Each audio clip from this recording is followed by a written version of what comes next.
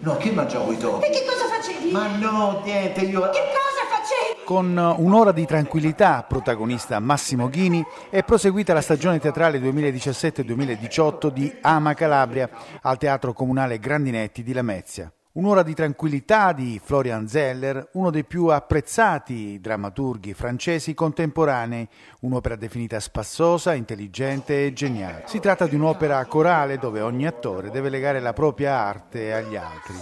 Un uomo in cerca di solitudine ma anche di tranquillità, pur di ascoltare un vecchio vinile, ma una serie di eventi e personaggi lo interrompono, la moglie, il vicino di casa, il figlio, l'idraulico. Insieme a Ghini sul palco Massimo Ciavarro per la prima volta in stagione teatrale, ma anche Galatea Ranzi, Marta Zoffoli, Claudio Bigagli.